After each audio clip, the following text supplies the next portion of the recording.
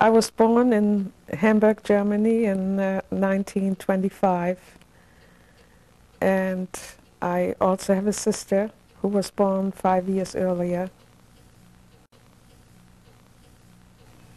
My father uh, was came from Togo, which was a German colony, and they lost the the colonies in World War One. So uh, when my father came to Germany, he was brought to Germany by a nobleman when he was seven years old, and he grew up there and was educated in Germany. And then later on, he went on his own and First, he sold. Uh, he, he, was he sold uh, cigars, and then he decided to. When he was 20 years old, he decided to go to Africa. And when he went back to Africa, he brought back an herb, and out of, the, out of this herb, he made um, toothpaste and tooth powder and also tooth water. So he opened up his own factory and was very successful. After a number of years, uh, things went bad and he went bankrupt and lost all the business. And then he went back to Africa and never returned. In the meantime, I I have another sister. My another sister was born in 1927, and when I was a year old, my mother sent me to a, a home. It was a private orphanage, and I stayed there for about 10 years. That was on the outskirts of Hamburg, a place called uh, Großborstel. I grew up there and was quite happy because it was uh, lovely uh, surroundings with a beautiful garden, lots of fruits and berries. And there were children there, but not too many. I was the oldest one there and I often have to look after the children and do different things. When it was time to for me to go to school, I went to a school there in a small town for about a year, and then when I went to second grade, when I had to go into the second grade, I went to uh, uh, to a Waldorf school. They sent me to a Waldorf school. And there I had to make a long trip every day, take the train all through the town of Hamburg, to the city of Hamburg, to arrive at the uh, at the school every morning. How old were you? I was then about eight years old. You went on seven, by seven. yourself? By myself, yes, on the streetcar was this tram. They call it tram. Uh-huh. And for me, it was uh, quite a. I had to get up very, very early in the morning, and took this long train ride, and it was quite an experience for me each day to be on the train with all those people and and the smoke, cigar smoke, and cigarette smoke made kind of an impression on me. But I was very happy at the school. I had wonderful teachers, and they really um, remained with me throughout my life.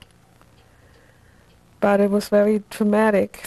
I was the only black child in the school, and at recess time, it was it was uh, very, very dramatic and very hard for me to go out and face all these children because they had never seen a black child before and they were always uh, gathering around me and touching my hair and touching my skin.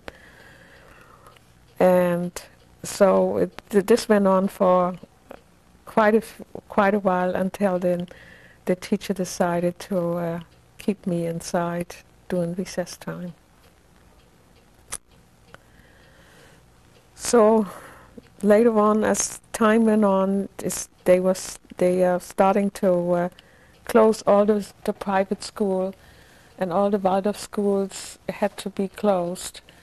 And the school I went to Why, was why was that? because of uh, Hitler. They closed all the private schools. Um, what exactly did you know about that or at that time, and what did they tell you? Well, what the way it really was, when I was in the school, some of the parents had made complaints about me being there. And so the teachers uh, decided to, uh, uh, that was just about during the time then when they were closing all the schools, the Waldorf, especially the Waldorf schools The Nazis were doing. the Nazis cl- closed all the Waldorf schools, and by me being there, they thought it had sort of a, you know, a bearing on it, on somehow it affected. So they told me that I would, I, I can no longer continue to go there. But at the same time, they were closing, and this the school I was going to was the last one to close. They had closed all the Waldorf schools already, and the school in Wandsbek in Hamburg was the last one to close. So it was sort of a in between, you know, the by me being there and by them, you know, being after the schools closing them up.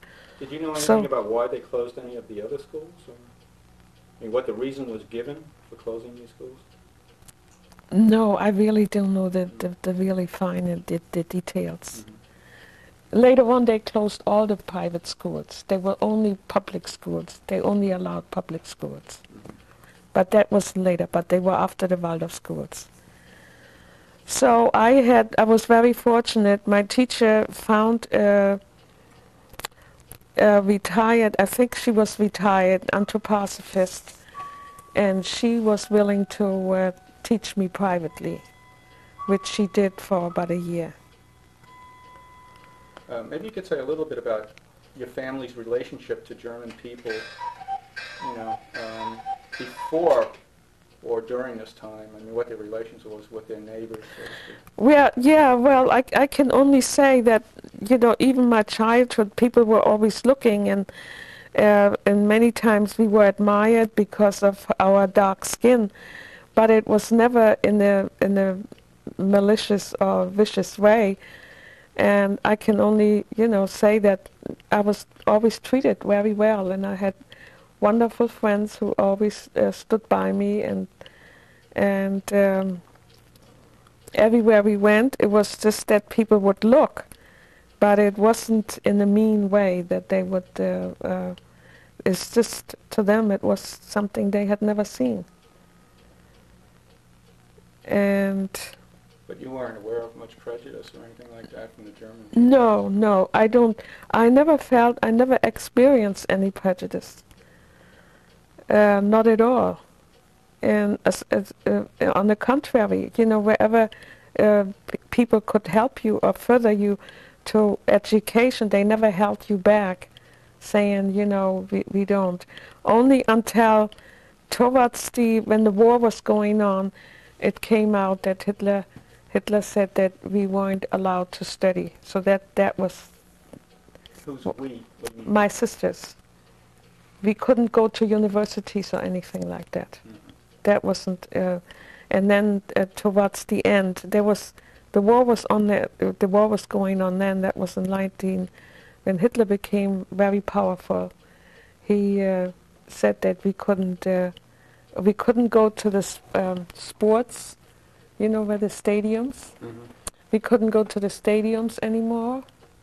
We couldn't go to the um, to the uh, swimmings, you know, to the swimming halls anymore, and we weren't allowed to to uh, study further our education. How did you get the, the, this kind of information? How were you told?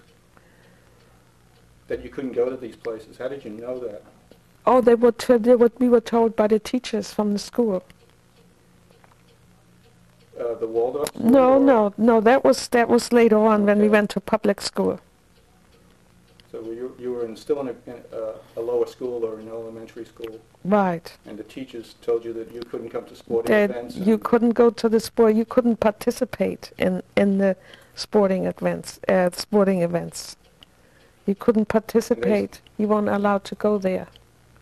And Can not you remember, I mean, how it was put to you, or, I mean, did they say this is the government, the government says this, or, or how was this? uh, Yeah, they were told we, we, that we were sent home. They were a note was sent home to to my mother, telling her that we were no longer allowed to to participate in any, uh, you know, sport events or uh, at the at the swimming and other sports. That was no longer. It's just like you know, it was handled like the Jewish people. Mhm. How did your mother respond to it? she just had to accept it. She said, "What can I? What can I say? I can't fight them. I can't go against it." So for us, it was uh, quite uh, sad. And then uh, another thing I also have to say that when my uh, maybe I shouldn't go back. See, we were stateless, and they branded us also. Even though we were born in Germany, I was I was born in Germany. My sisters, we were all born in Germany, but uh, we were stateless because my father, when he came from Africa, he never natural. He never became a natural. You know, how did you say it? Naturalized citizen? He never became a naturalized citizen, Mhm. and I don't. I don't know whether he would. I think at the time he would have been able to to to do it, and I think he was allowed to do it, but I'm not sure. But at this, so that left us stain, uh, stateless, even though we were born in Germany. But when you are born in Germany, when no matter, uh, it, it's always you are always what your parents are. If your parent, my father was stateless, he was not uh, a, a German citizen. Mhm. So, um, so we were stateless, and that what made it uh, very difficult for us, because as as we were on, we, you know, they would always say, "Well, you know, you're not. You're a stateless person. You're, Mm. you're not a German, even though you're born in Germany."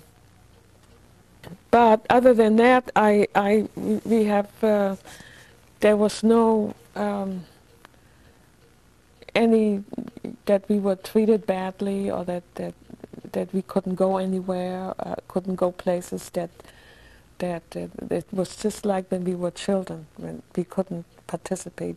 But other than that, you could go any place you would like to go. Nobody would say you can't come in here or come in there. And what, what was your uh, mother doing at this point to support your family? She had the store. She had the store for about 30 years. Did you say exactly what kind of a store this was? Um, well, it was uh, antique, antique and and uh, second it was a combined. Antiques and, It was yeah, she but it was more antiques than than anything else. you mentioned, uh, Fund, the, the the name of the the name of the store was uh, um, uh, Fundgrube. what does that mean? A found a, a found a treasure, Uh-huh. found treasure. And she ran this business on her own? Well, no, she and and uh, uh, her friend, her friend did. Uh-huh. Um, She didn't do it all by herself. So did you see much of, uh, of the uh, Nazis, the parades and whatnot and that kind of thing? Yeah, I, I did. You know, every every uh, you know there were parades, not too many in Hamburg, but I did uh, I do I did uh, I I remember one when I was small that we had to in school we all had to turn out to go there to to uh, when Hitler came, And what was that like? and that was uh, was very interesting. Was you know, it was just something that uh, I I will always remember.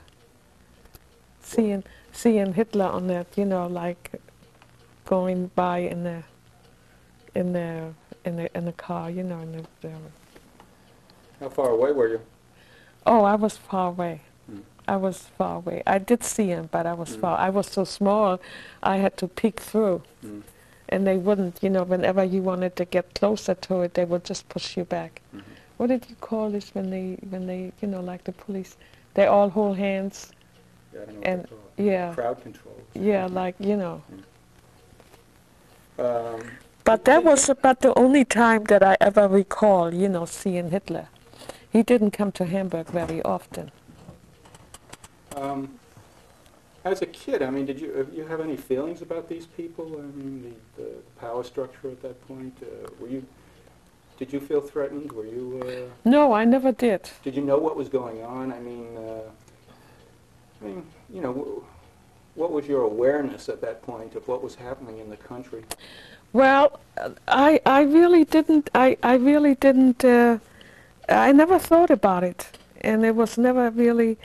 Uh, we were really more concerned as the war, when the war started, we were all very much concerned about you know having enough to eat because things were beginning to you know putting on ration, and um, but other than that, there was never. Uh, uh, I never had any problems that people would say you can't do this or you can't come in here. For most of the Germans, we were dark skins and there was always something special to them.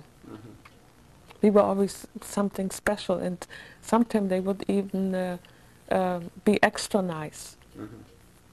So all, all during the war, I, I never had any uh, uh, any problems.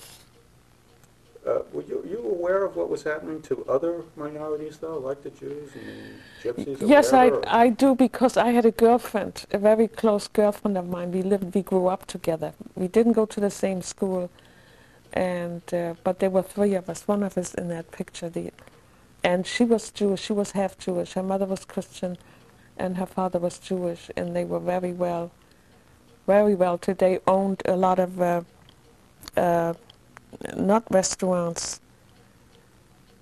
Yeah, but restaurants and where they have uh, like shows. Cabaret? Yeah, cabaret, exactly. They owned sev- several, they had several of them, and they took that away from them. And um, little by little, they would, um, they took that away from them. Then they had to move out of, out of our neighborhood where we lived, and she had to move into a neighborhood where all Jewish people were living. And in the meantime, What we, year would that be about? that was in 1939, 1940. Uh-huh. And I remember we would meet, we would meet, and she had to wear the star, the yellow star. Uh-huh. And uh, so I, then you know, we wanted to go into town. We were, we were very close. We grew up together. And then she, s- then I said, oh, I said, take that star off, you know. And uh, she said, no, I can't, because people in the neighborhood would uh, always watch her. So she said, I can't. And then sometimes she, in the beginning, she was she she did it, and she would put her pocketbook, you know, over over the star. But then, uh, as time went on, she she could no longer do it, and then she moved in. She had to move into a, a neighborhood where all Jewish people were living, and they all lived. The whole family had to live in in, in one room. That's how they reduced them, reduced everything. Do you know what happened to him? yeah, she went in, she went into a concentration camp, and her brother, she had an uh, her brother. They they hid him somewhere, the whole time. Who hit him? My, my girlfriend's brother. They were twins. Yes, but who, who hit him? aunt, uh, an aunt did. Should be a Christian aunt? Or I think she was a Christian aunt. I think she was the aunt on her mother's side. Uh-huh. I remember that she was a tall woman. She had a store. So throughout the war, this boy was Throughout the war, I don't know her name. His name was Günther. Uh, I don't know where, not until this day. And even my girlfriend, she was always in touch with them later on when, after I came to the States. And they never revealed where they hid him. But he survived the war. He survived, and Yeah. she survived also. She was just lucky. She was in a concentration camp, and her father was in a concentration camp. They didn't bother the mother, and then she um, she got uh, I don't know what concentration camp she was in, but just before the war was over, the Americans were already coming in into what the Americans were coming into Germany, and they had the Nazis had undermined the whole concentration camp. They were going to blow it all up, and the Americans just got there in time. So This was outside of Hamburg? that I don't know exactly. No, I don't know Oh. where that concentration camp was. Hmm. I don't remember. I don't know. You met her again after the war? Yes, I saw the whole family after the war. I just happened to run into them, and then after that, I never saw them again. Did the father survive? The father survived. The whole family. I saw them all together, right after the war. So um, she had the she had all her hair cut off. They cut off her hair. She was all bald, and but she survived it, and just by the by the you know by the um, skin of her teeth. The Americans beat them to it. Otherwise, they would have. They were ready to blow up the whole thing.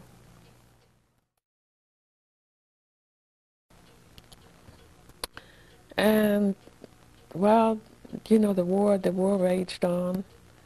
Right, you to- mentioned um, having to take shelter from the bombing. Yeah, we had to. Uh, we lived in uh, uh, where we lived.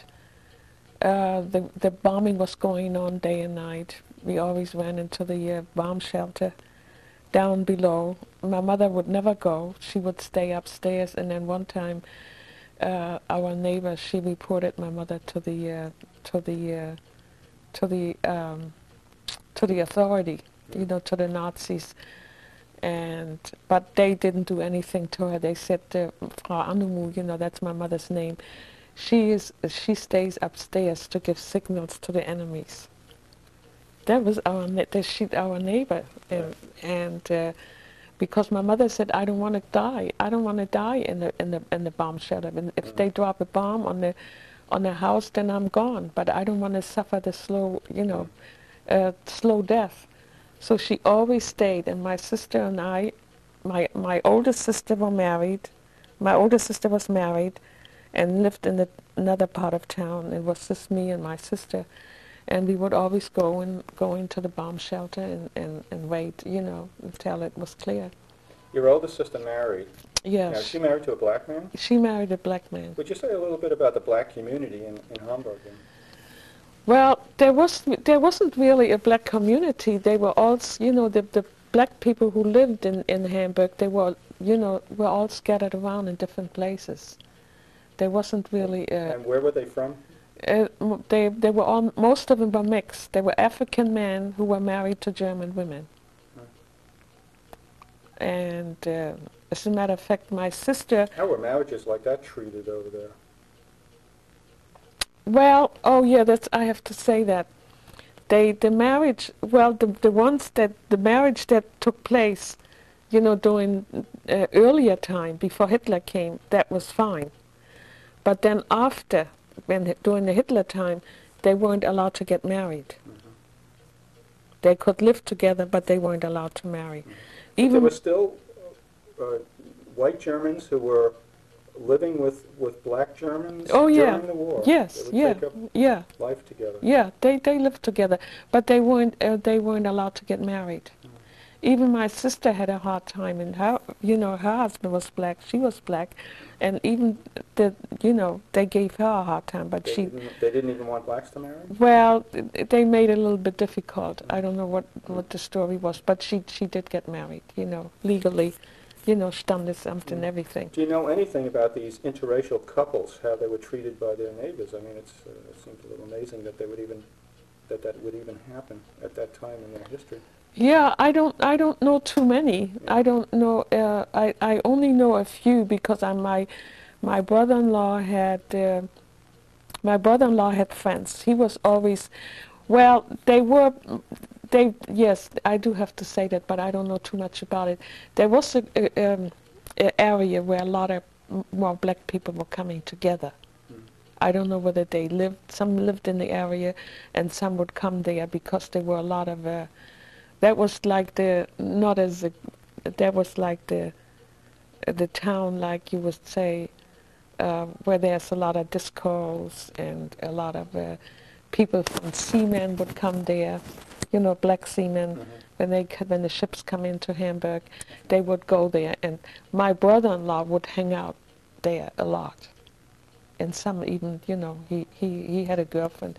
He had a girlfriend too before he married my sister, and she was white. And they lived, you know, whenever he came from the ship, that's where he went. So your brother-in-law was a black German He was black, yeah, and a seaman. yeah, and a seaman. And my sister... What was he doing during the war? he was on the ships.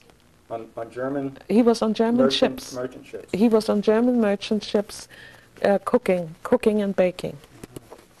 He was back and forth. He didn't go out very far. He went to, you know, uh, just short trips. But they were, these were German ships. Hmm. He uh, he he would. Um, they were all interracial, you know. They were half, you know, like most of the women was the women were um, uh, white and the men were black. So I know my sister. She had a she had a boyfriend, and he he married he and after that when they broke up, he lived with a woman, a white woman, and they had two children, but he couldn't marry her. That he was during the war. That was doing he he wasn't allowed to marry her. The uh, SS or the Gestapo didn't bother them, huh? These interracial couples. No, they didn't. They didn't. They didn't. So they were, they were, they were quite. You know, now that I think about it, they were quite a few. But I never, you know, get got involved. You know, I only know from my brother-in-law and my sister-in-law. My my sister. You know, they. He was small. He was very. My brother-in-law was very color conscious. In in so many ways, but even though he lived with a, you know, he lived with a a, a white woman, but it was always his desire to marry his own, you know, Mm. and marry, Mm. to marry a black woman. Mm. So, um, so he he hung out a lot, you know, with black people, but they were just people who coming from the ships.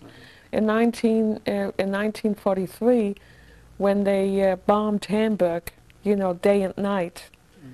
that's when we lost everything. Until then, all during the during the bombing, we always were able to go back to to our home. Mhm. But that was uh, already uh, uh, the Americans and the English, the British already had told us we're gonna wipe out the whole city. So did your house actually get hit or, or what? I mean, Yeah, it got they, they bombed it. They bombed. We, we had an apartment. We didn't have a house. They So- bombed the apartment and my mother's store. My mother's store was about two, three blocks away from where we lived. What, what was that day like? It was awful. Why don't you tell us about that? I never forget that day. I'll never forget it. My mother, uh, in the meantime, my sister was married, lived in another part of town, and she was bombed out. If she and if she hadn't have gone into the bunker, you know, there was a the high bunker, not a, underneath, but it was a tall. Mm. So when my sister, um, she went, she just took the child. She she lived in a garden apartment, and the and the bunker was about a half a block away. So sometimes she wouldn't go because she figured, oh, you know, maybe just one one plane, and then they just, you know. But this time she just took my niece.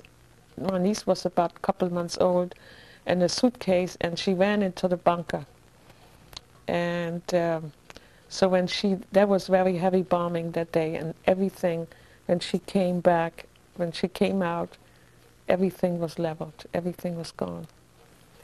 So, um, so she stayed. She came to stay with us. That was in 1943, in the summer. It was in June, in July. It was very, very hot. They just said, if, if you if you uh, stay in the city, it's your it's you are under your own risk because we won't be able to to dig you out. That's how bad it was getting, you know. And they were getting they were taking all the old men, the old people. They they drafted them to you know to clean up and and rescue people. So my sister stayed with us for a couple of weeks. No, not even a couple of weeks, maybe a week or so. And then uh, my my older sister with the baby and my younger sister went uh, just got on a train wherever they got off. That's where they were going to be. So they said it's the best thing for them to do because, especially the, the mothers who have babies, they shouldn't Mm. stay in the city. So my sister and my younger sister, my older sister, my younger sister, they, they went. And I stayed with my mother. So they, um, they went on a train and they didn't, they didn't know where they were going to go. Uh, and then they wound up in uh, South Germany, in Bavaria, in Bamberg. But in the meantime, but it was a long way off, you know, they were just on the train for days. But in the meantime, I stayed with my mother, and so we, my mother said, oh, she said, I, so we had uh, Oriental, you know, we had a lot of Oriental, a lot of uh, antique stuff, and we rolled everything up, and uh, some of the stuff she put down in the, in her store because she always said, I don't think both places are going to be bombed out. So we took our stuff, we took a lot of things and put it in the store. And then, you know, I had a bird, I had a, a parakeet, it was so sad. So that it was the last day. And I remember saying the prayer, hoping that, you know, I'm going to come back. So we left. We didn't stay. Usually we stay, but this time my mother, it was really bad. So we went, took our suitcases, that's all we had. We took our bicycles, and we went out to the seashore. That was outside of Hamburg. And that night, that night, everything was demolished. That night, it was a clear night. It was very warm, and she could see. She could see. She said, "They're, she said they're bombing. They're bombing our district now." She said, "It's I," and the Americans. You know, they had these. Um, they were throwing these these phosphor things. Yeah. These look like Christmas tree when you see them in the when you see them in the air. Of like uh, flares. Right, right. But they look like Christmas trees, and they were just all over Hamburg. We could see that from the beach. They were all over, and so my mother said, "With this time," she said, "it's nothing. It's going to stay," and it, and it was true. So the next day, I never forgot. This was really an experience. So the next day, we we didn't. You know, you still hope. You know, maybe, maybe, maybe, maybe there's going to be. Uh, uh, maybe not. But so I said to my mother, I was very, very brave, and that, that's that's the picture I have. Billy has that picture. So I said to my mother, I'm going into. I think maybe our apartment is still there. Maybe the store's still there. And she said, I don't think you should go. And I said, Well, I'm going. You know how you are when you are young. So I took my bicycle, and I went. And as soon as I approached the apartment building, it looked like it was still standing, but it was only a shell, you know. But from a distance, you thought it was uh, because all the other houses were on fire. You know, it was so dark that night.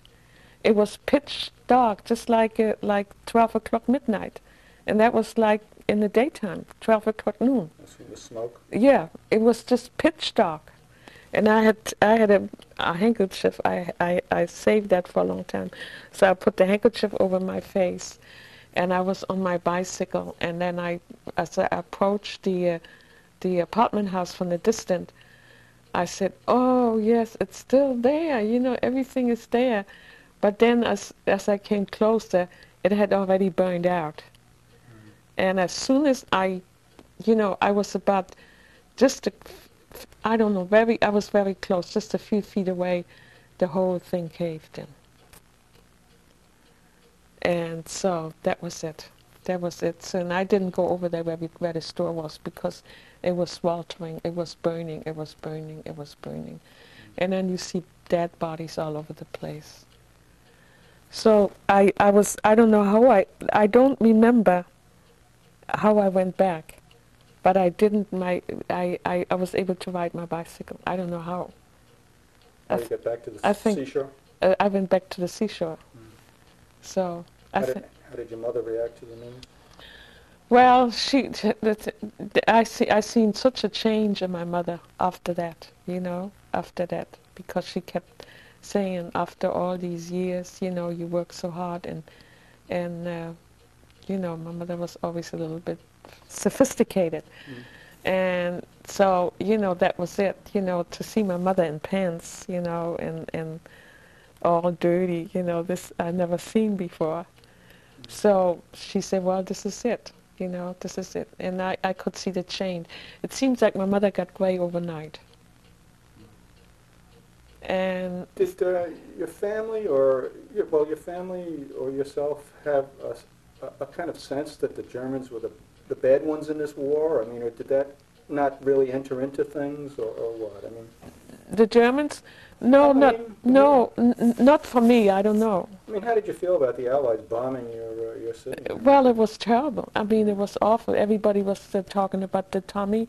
They call it the Tommy, you know, the British. Yeah. They call it the Tommy and the the Ami, the Ami, Ami and Tommy. But you didn't, you didn't necessarily, you or your family, see the, uh, the Germans as the aggressors and the bad guys. Um, no, not not. You know, it was just that the war was on. I mean, they they were fighting, and it was terrible to you know to uh, being there a victim. And then I remember that people were coming, the German soldiers were coming home on on on leave, and uh, I, I yeah there was a guy he lived in our building, and he he said I'd rather be on the front line than being in the city, than being home and just waiting for death. You know I can't defend myself with a gun or anything, I just have to sit here and wait for death. So they, they, they said, well, we are worse off. You know, they, they sent us home for leave and look for their family. You know, some lot of children, a lot of people were being killed. But uh, they said that, uh, what can we do? But um, you, you folks, I mean, your family and everything were pretty well Germanized then. I mean, in a sense, um, Yeah, very much so. I mean, you did, you, n- doesn't sound like anybody was very political or anything. Or, No, I mean, you had these Jewish friends who were, who were put out of business, so to speak, and, and put away into whatever, I mean, I, you know, if they were, were they called concentration camps? I mean, uh, I mean, and what did that mean to you? And, and it, uh, but yet, y- you know, it still, it, it It was- still, in, in, in, within you, it, it still didn't uh, make you think that uh, I'm on the wrong side here or anything like that? I mean, Well, it was it, in in one way it was. It just all depend on how you took it because y- what what could you do? You couldn't you couldn't fight. You know, you couldn't say anything, and it, it I mean But I sometimes mean, was that really in your mind or, or what? yeah that Yeah. you know I, I I don't know I'm maybe this is the way I am. My my sisters were a little different. You know, you just accept things as they are. Mm. You know, I I couldn't do anything about it. And I just in, in this you go into the store. I mean, I wasn't like you know like this. I What do you was just whispering it. There was sometime you go into the store, you had to say Heil Hitler. hmm You know, To who? to this to the storekeeper Uh-huh. you know, and he had the big sign outside his store. Any every anybody who enters has to say Heil Hitler. That was our that was our milk where you buy milk and cheese. Uh-huh. Yeah, milkman. And he he he was uh, you know I mean a he was a real Nazi. Yeah. So my mother, you know, they were people. Some Germans were. You just had to be. My mother would say, "Oh, that guy over there, he's a big Nazi. You better not say anything." You know. Mm. And then you could say this store. They say, "Oh, they are okay." You know. Mhm. They just go along with the, but, but some of them would say, "Don't you say Heil Hitler? You know, you, you don't come into my store if you don't say Heil Hitler." So that's the way. So it was like, you know, s- some some were like on one side, and the other one say, "Well, you know, what can I do? I don't want to go into jail. I mean, I don't believe what he's doing. I'm against him. You know, maybe after it's all over and Hitler win, I'm going to go, you know, go into the concentration camp. Who would say this? Uh, some Germans, Yeah. you know. See, it wasn't only the Jewish people they were after. Many, uh, many Germans were put away. Mhm. And my brother-in-law, he was an anthroposophist. One time they came to his ship, then they confiscated all Rudolf Steiner books, Mm. took them away. So, Um, you were a teenager in high school at this point, right? yeah, right. Um, uh, do you remember in, in uh, what how history was being taught at that point? I mean, were you being indoctrinated uh, in your classes in any way? I mean, about the what was going on, or No, well, they mostly was it, it was also taught about you know Hitler, you know, and but everything is good and but uh, it, it all the you know some of them.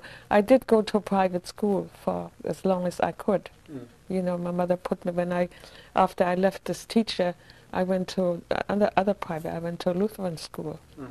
So there was the teaching was completely different.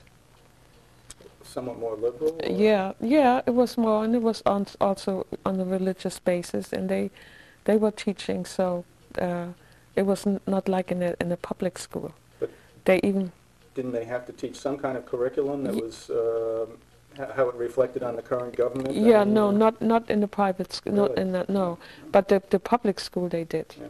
Yeah, in the public schools. So how did the war end for you guys? What was it like? uh, when we came, you know, after we had lost everything, we just, you know, there was, where were we gonna go? We didn't have no. Uh, some of some people, Germans, had little, little uh, uh, summer cottages where they could go to, but we didn't have. We didn't have it. So we had friends um, in East Germany, Turing, and that's where we went. That's so the name of the town? Turing, that's in East German. Mhm. Turing. And in Mühlhausen, it's the, the town was Mühlhausen. So we stayed there. Now this is just my mother and I. My sister's already there somewhere on the other end there in Mhm. Bavaria. Were you in touch with them at all? Uh, later on, later Mhm. on. So we stayed there and then, um, uh, you know, people, it was very strange, you know, when you come into the places, the town, even Bavaria, where people were, didn't even know what was going on. They had their homes, everything was nice and clean and, and tidy and beautiful, polished. And here come the people who, you know, all dirty, bombed out. So nobody wanted them, you know and they would look down on them and they say, "Here comes the here comes the bombed out people." We, I don't not in my house, you know. Were the authorities uh, kind of telling these folks, though, that they were supposed to take these refugees in? yes, yeah, and then but there was one thing. There was one thing I have to talk about is my sister, my sister, my mother, my sister, and her baby, and my other sister. So my oldest sister, my youngest sister.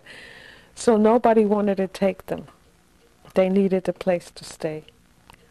And they went to the authorities, you know, they give p- people to stay.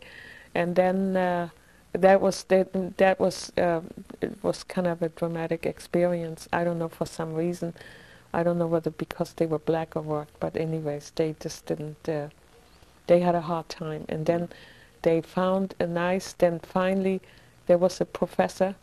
He had a big house, and just him and and the and the housekeeper, and uh, he he said, "I will I will take them." So that's where they lived. How, uh, how long did it take them to find the place? I don't know. I, that I don't remember. Mm. But I remember my sister said they really were, you know, some of the people, they probably said we're here, and then the people would say no, you know. Mhm. So it was like, it's l- not like, it wasn't so much the color, I believe, but people don't know, you know, Mhm. and especially in, in South Germany, it's very, very different. Mm. They are com- they're completely different mentality. In what way? What would you say?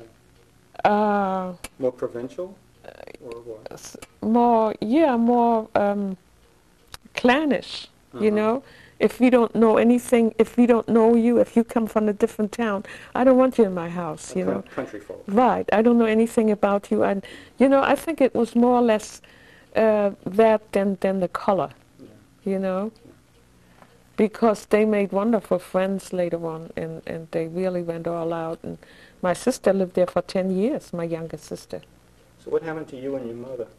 So we went to Turing, and then we stayed there for a while With, with who now? with friends. Okay. These were the people I didn't, I never met them, but they were Germans. Mm-hmm. and we stayed there for for mm, mm, about couple of couple of months. Where, where exactly did you stay in their house? In in in uh, we I slept on the couch. And my Mm. mother we slept in the living room. They gave up their living room to Mm. us. So they didn't have a very big apartment. I, I remember that. Mm. You know, they just uh, they didn't have a house. Like my sister, they, they had it. You know, the man gave up his, you know, not the whole house, but he you know gave them did nice. for a living? Oh, the people? Mhm. Uh, I think he was a retired businessman. Mm-hmm. Yeah, he was.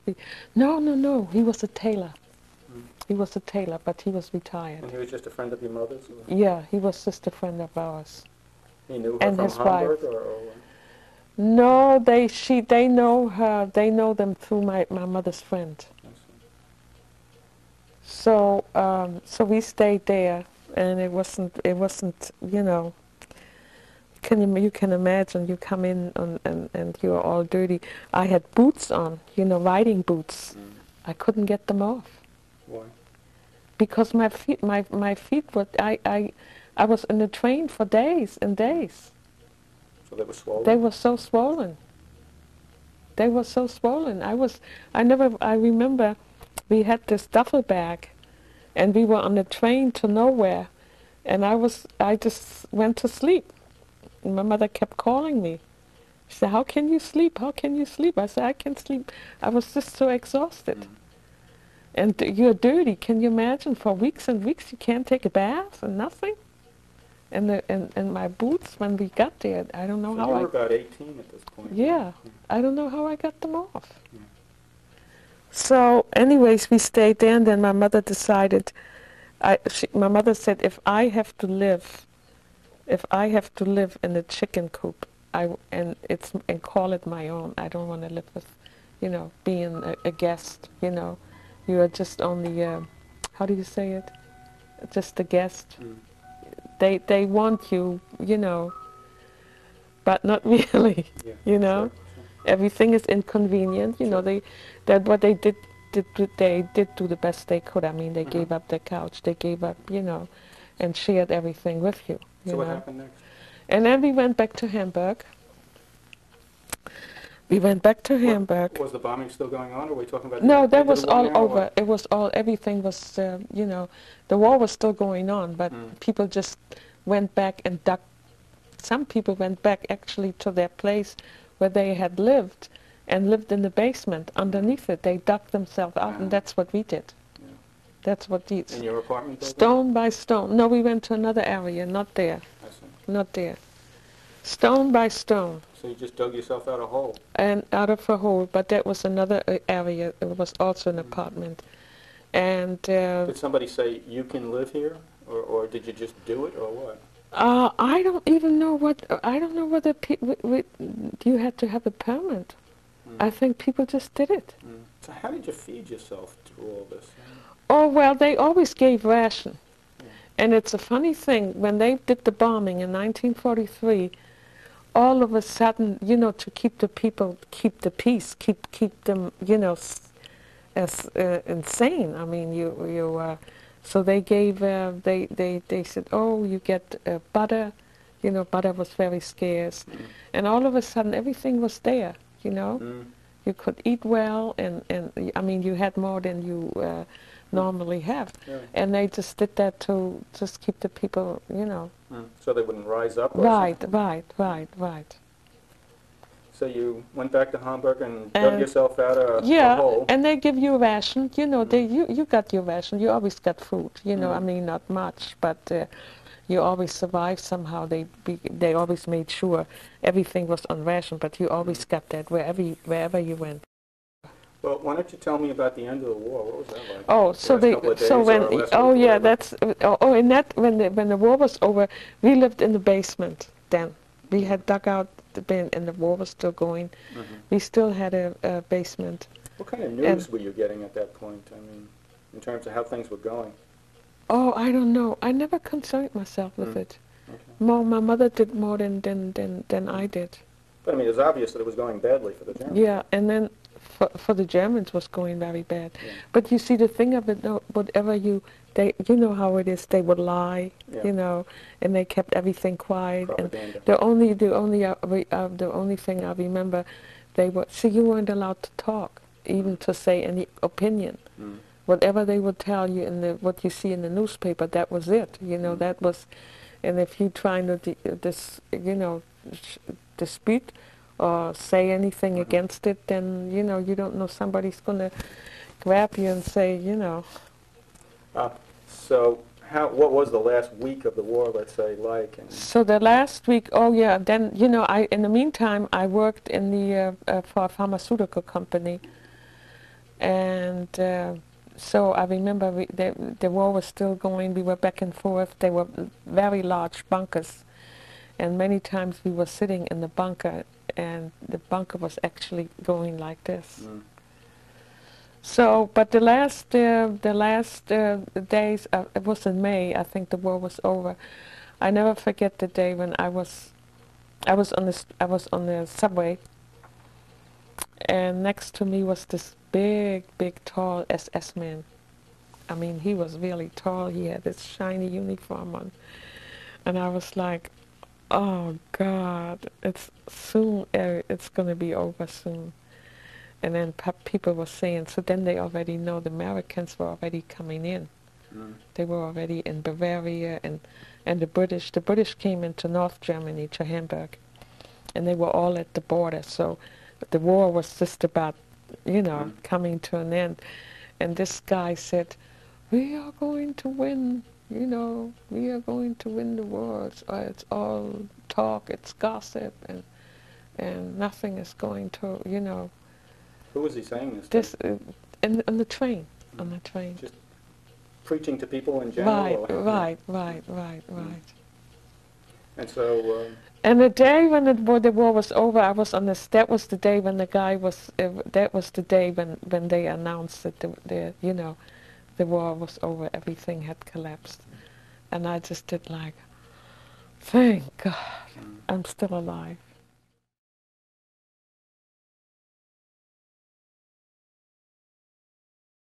After when it was over, they you know when they discovered all the concentration camps. they had it posted, you know, the British posted it all over the place. And I remember people are standing there like, we didn't know that what was going on, you know, and a lot of people didn't. Mm. I always hear that they said that the Germans know, but a lot of Germans didn't know. could be they didn't want to know. Yeah, I was just going to say that that could be too. But I, I, I believe I believe that. Um, um, but then I heard something. I don't know where, where where it came from. That they were. I don't know whether my mother told me. There was a train. We used to go out. You know, during the wartime, we would go to the farmer and get mm, potatoes and butter. You know, Yeah. change for exchange for something else mhm. and I think it was, and yeah, it was outside of Hamburg. And somebody said that they heard moaning and groaning From where? In that area. That's where the concentration camp was. They wa- was. And and I don't know whether the people know it or they didn't want to say it or something. Something strange was going on there. But that's all I remember.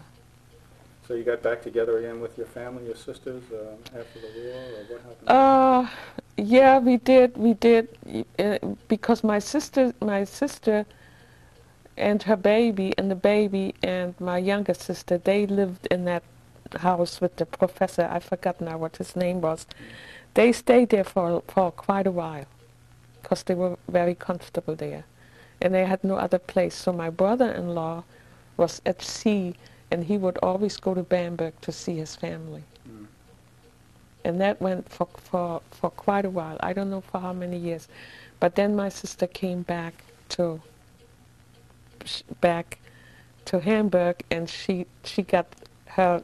She lived in the bunker in the basement. Mm. She dug out a basement, and they came back, and it was it was easier for my brother-in-law because he was still at sea. You know, for him to be in in in in, Bavaria. But my sister didn't like it. You know, Mhm. she didn't like it that much, anyways. You know, if you living in South Germany, it's a, it's a bit different. But my younger sister stayed. She stayed for a long time. So then you got to meet some American soldiers, huh? Oh yeah, later on I met uh, some Americans. We went there, and I met my husband in Bremen. So what was that like, meeting, meeting uh, black Americans? Yeah, that was in the Americans. So first, but first we saw the Americans in Bavaria. So how, uh, did you, did you date a number of Americans, or how did that come about? I mean, what was that like? What was your, like in meeting American blacks? Oh yeah, they were the Americans. They were very. They were so uh, overjoyed that when they saw blacks, you know, they didn't know that they were blacks in Germany. And they would. We would walk, and we would walk in the street, and they said, "Oh, you know," and they would stop, and they said, "Oh my goodness, you know, are there more blacks around?" They said we, we, we don't we don't and then they were you know how did you survive and didn't Hitler kill you and and it, it was really interesting uh, to uh, to you know to, to see their reactions you know Mm. and someone would say oh they would just laugh and and and and, and yeah and what can I bring you and they would go to the PX and bring all kinds of stuff and, and You, you were able to speak English, though? yeah, right, right, right. Yeah, I speak well, not as well, you know, but I, I had English for Mhm. a long time. But I bet you they thought you had a real cute accent. Gee. they they were really it, it, it was really for them they, they just didn't they, they just couldn't believe you know that they, they were blacks Mm. in in in uh, in in Germany. In France, they had seen a lot, I Mhm. think. Yeah. But you did end up dating at least one soldier. Yeah, uh, one or two. Mhm. And then uh, I, I one, one day, and we went to, Bra- oh, that was because this black lady, Tante Henny, I don't know why we went there. And that's where I met my husband. Somehow she, Your she was, was? he was in the uh, um, um, ammunition, he was with the ammunition depot, I see. yeah. And what was his name and what was his rank? Uh, his, he was sergeant first class. Yeah. What was his name? And William, William Fordham, I see. yeah. So, what did you guys do on a date? Oh, we just went dancing. You know, they did. They had dancing uh, out uh, in uh, different places. Would that be, uh, Like dancing was supplied by the uh, Yeah, armed forces or by the German people? No, no, no, no. That was on the uh, that was supplied by the by the uh, by the Americans. USO or something? Yeah, by the yeah. Mm. It was there. But then they also had a place where the where the uh, Germans for the it was I know I'm, I remember one time I went that's when I went that's when I met him the first time. He was going with the blonde girl. And she's she very pretty. She was real blonde. German? A German girl, yeah, right. I think he always wanted to marry her. Mm-hmm. He did. He was very much in love with her, and uh, I couldn't. I have the, her picture there someplace, and she. Um, I think that was. I think that's why our our marriage never worked out. I think he was really in love with her, but when he told his mother and his sister, they they said if you if you bring her here, we have no space for her Mm. And where was here? into Pennsylvania. See, my his sister lived in Pennsylvania. Mm. His mother lived in North Carolina. And they, but that's one thing I could never understand. How they, I mean, now I'm beginning to understand it, but at that time I couldn't understand why they had so much hatred against white people. Mhm. I could never understand that. But you know, as I go now, that it took many, many years Mm. for me to, to realize that. But I'm, you know, I'm not a person who, I could never, you know, hate anybody. No matter what race they are and no matter what they they have done. But maybe these people, you know, they have really suffered. And my, my mother-in-law uh, used to tell me how they suffered, you know, and what they had to experience. And my oldest, my sister-in-law in Pennsylvania, where I stayed, in Chester, Pennsylvania, she was even more so. And she said if he, he had come, he used to send pictures of this girl. And so she said, uh, sh- she said she told him, and she said, if you bring her here, uh, I have no room for her. Mm. So you got married and stayed over there, or what? Uh, yeah, happened? I got married. I got I met him in Bremerhaven, and then he started to write to me. I went back to Hamburg, and he started to write to me, and then uh, and then I, I don't then oh and then he was transferred from from Bremen, which was in the north, northern part of Germany. He went to Bamberg, and that's where he was. That, that's where he stationed. That's where he was stationed, and that's where I got married, in Breitengüßbach, in a small little village. And uh, what year would that be then? That was in 1947. And um, I met him. I, I met him in 40. No, I met him in 46. I met him in 46, and then I went back to Hamburg, and he started to write to me, and then I went to him. Then I went to Bavaria, and that's when I got married in 1947 in October. and how long um, did you stay over there? And you, you had Oh, we stayed a year. I had my, and then my daughter was born, and then right after she was born, we went to the States. The same year. Right. We we lived in the we had a very nice apartment in the in Breitengüßbach. It was right on the road. It was a lovely lovely place. And we fixed it all up and he was always like he bought nice furniture and oh and I I even had a maid. He wanted me to have a maid so I had a girl coming in and and she made lovely curtains for the for the apartment and always telling me and they were blue. She's always telling me I was going to have a boy. So, um, you know, she came and, and cooked and, and everything. Was this, you know, wasn't really, but he, you know, in those days. And uh, so then was time came time for me to go to the hospital. Uh, they kept me in the hospital for 10 days already because I was overweight and I had high blood pressure and everything else. So I stayed in the hospital for uh, 10 days before my daughter was born. And then when she was born, I uh, I was I, I never realized how I how I was in the room all by myself. and it was a you know it wasn't like a you know it was a big room. Like a with- ward, Yeah, it was a lot of beds. maternity ward, Yeah, and you it had it, was. all to yourself. I had it all to myself, Oh. and uh, I, I didn't know. You know, I didn't realize. I had no idea When did you until realize? much until until much later, until much much later. And what did you realize then? that uh, you know that there was uh, there was this separation between blacks, you know, and and uh, whites In the army. in the army, right? I knew they were separated.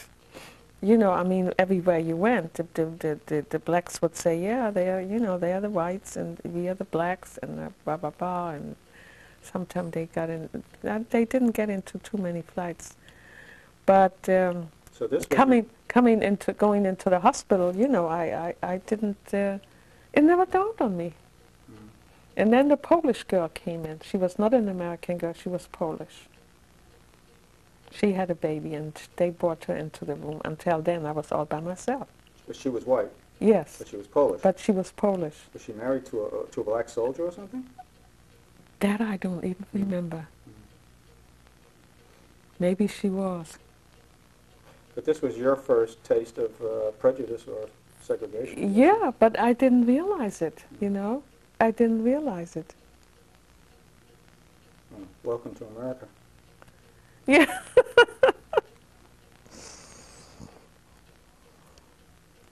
I had, I don't know. It's uh, it's very strange. I had lots of experience, even you know here in this country.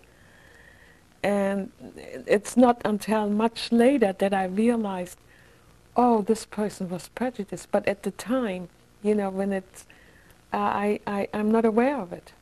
Mm.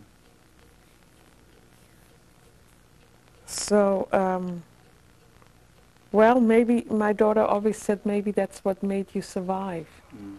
because I never really, you know, I was really not not. Um, I don't know how you would say it. How you can. Uh, I wasn't affected by it. Mm. I just, you know, life goes on, you know, and I always felt like if if you don't accept me, there's nothing I can do about it. I'm not going to get mad. I'm not going to get angry, you know. Mm. So maybe it's a good way to be. May I? Maybe not. I don't know.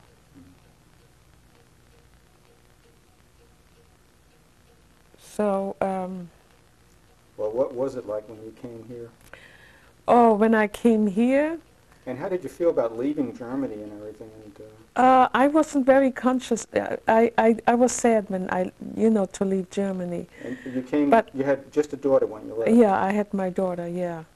But at that time, my marriage was not very nice, Mm. you know, and, and uh, my brother-in-law, I remember before we left, my brother-in-law came all the way to Bamberg. He asked me if I was happy, and I didn't answer that question, you know, and he could see on my face that, you know, things were like they should. But um, so we left, just left it there, and we left for the United States, and I, you know. So when I got here, we, we, we landed in Fort Hamilton. I'm sure you know what Fort Hamilton, huh? In Brooklyn. Oh, yeah. That's where we. That's where. That's where we landed. Mm. Never forget 19, 1940, uh, 1948, and uh, on the first of on the on the fourth of October, in 1948, I came to the United States. So that was the beginning. Then from there, uh, we went to um, we stayed stayed there a couple nights, and then we went to Pennsylvania, where my uh, my husband's sister was living. And um Were you acceptable to her? yes, oh yeah, they were very nice to me. They were very nice to me. But she always, she always made sure. She always would tell me. Now she says, if you had been white, she said, you wouldn't be in my house. Mm. and she would say that many times, you know. And uh, and and his mother told me the same thing. See, later on, I stayed with her. I went to North Carolina, Mm. where he was, uh, you know, from, and I stayed with her, and I was very well received. And they would always say, "Well, she's very pretty. She's very pretty." And um, and the mother told me the same thing. Mm. And yet she got along very well with the white people. You know, did, they. did she say what her experiences were that led her to uh, to feel this? Well, she said we were treated so bad, and you know they go back to the slavery. I mean, Yeah. they, and and uh, how how you know during that time. Now I'm learning all this. See, I didn't know that much about it about the lynching, Mm. and she would tell me, you know, that i i now that I think about it, these things almost went over my head. Mm. I, I just couldn't comprehend when she was telling me that uh, you walk through the neighborhood and here here hangs a black man, Mm. and she was telling me about all this. Mm. She had seen this stuff. Yeah, and she said that. Um, she said, "Don't go." She said, that, "Well, I didn't hardly go around, you know, but she said, don't." She said, "Don't go to the uh, white neighborhood." That's that was the time. That was the time when the lynch, this lynching was still going on in the in the in the in 40s. Mm. I'm just learning this.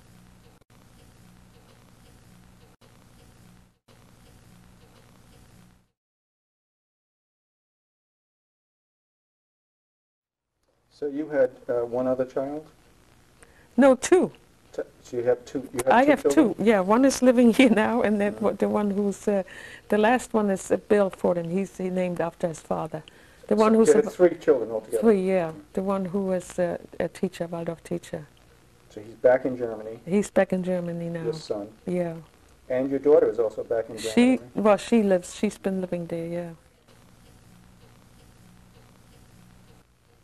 See, I look at people as human beings, and and not lo- not looking at their colors. But I think even if I had to, even if I had experienced uh, traumatic things like the black people here, uh, I, I don't think I just could dish it out and, and have hatred for everybody. I mean, you know, they are they are good people and bad people, and some people are prejudiced because they don't know any better. You know, they haven't exposed, they haven't been exposed to blacks, so they don't know anything about him. So you, you I don't know. I, maybe, maybe that makes me makes me different. Look at things in a different way. than, than, than other people do. Well, you've certainly had a unique uh, experience. You seem to have been the, the one and only in many situations, or certainly one of the few. Yeah, I think so too. Even my outsider. yeah, even my sisters, you know, and uh, well, I feel, you know, it was there was a time. I I never felt comfortable in this country for some reason, it, it and it uh, it wasn't only because of my marriage. So maybe maybe it could have been that uh, things were different, uh, um, but uh, for some reason I never felt comfortable here, and it was in the 70s. I remember uh, when when I was working, I just wanted to go back to Germany so badly, and it, it and it then you know, as you know, the more I studied anthroposophy and came into you know, to, to came to came to to find my own self, I began to realize that there's a reason for it that I'm here. You know, Mm. it's not by chance, and that and then I really, you know, I, I become to coming to terms with it and accepted the fact, and then I just took it from there.